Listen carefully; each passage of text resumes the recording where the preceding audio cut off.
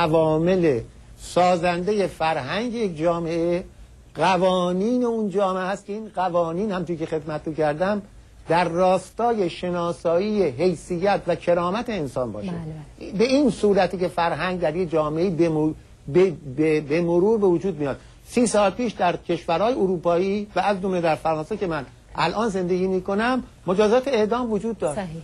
مجازات اعدام لغو شد امروز بعد از 25 سال 30 سال در همه کشورهای اروپایی جامعه اروپا دیگه اصلا تحمل شنیدن اینم که مجازاتی به اسم اعدام وجود داره نداره. به این صورتی که قوانینی که با کرامت انسان با حیثیت انسان سازگار باشه به مرور فرهنگ اون جامعه را هم رو به اعتلام درباره اون چه که آقای لاهیجی گفتن چی فکر می‌کنید؟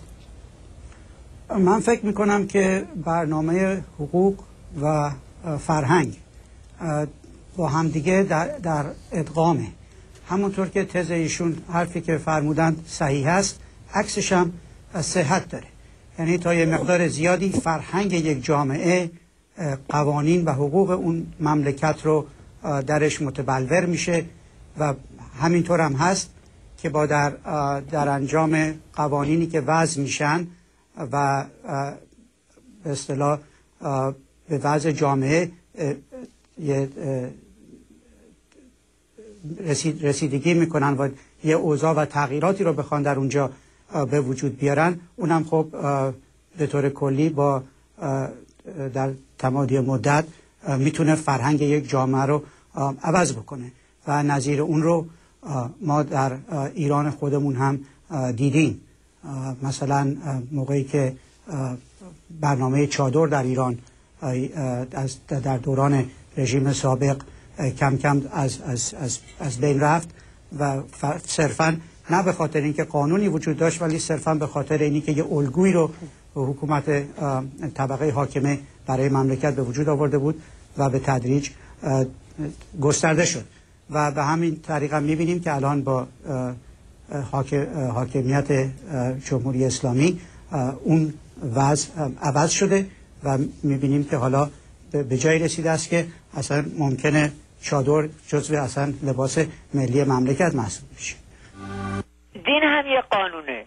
صحبت همیشه این است که دین به وسیله یک افرادی برای بشر آمده که این افراد برانگیخته شده از جانب خدا هستند بنابراین بشر نسبت به قواعد دین حساسیت بیشتری داشته و یک ترس وجدانی خاصی هم همراهش بوده. مثلا همین الان با هر کسی که اهل دین باشه راجع به قواعد دینی که حرف بزنید او بلافاصله شاخک های وجدانش تکون می‌خوره که اگر مقررات دینی رو زیر پا بذاره مثلا به جهنم خواهد رفت.